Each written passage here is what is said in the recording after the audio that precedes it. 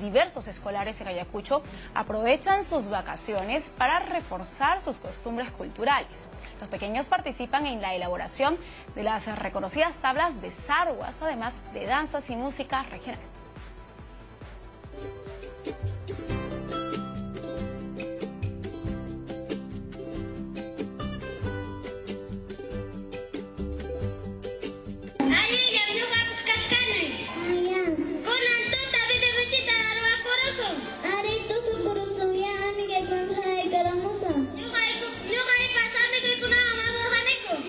Estos niños hacen su mejor actuación en su lengua materna con la fiesta del Vida Michi, una fiesta de jóvenes solteros.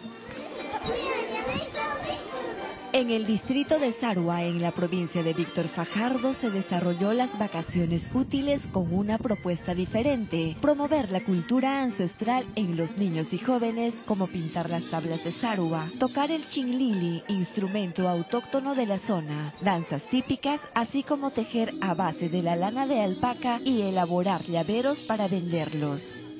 panaymang eh, por ejemplo arikairoene kumana hukla ollaktakunapikanchu kaytahkan pero mana ñuqaykupaman tupanchu chay ñuqalla ari anchatam royakune arikay yachasqaywan porque yachasqaymi ñuqay maypipis rantikuni kayna gringo gringokunamanpas hinaptin ari kanri eh, kay na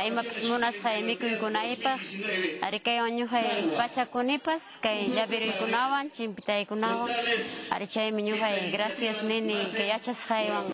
Los niños presentaron la danza tabla apay, el cual regalan al compadre en señal de compromiso. De esta manera, las autoridades buscan mantener la cultura viva.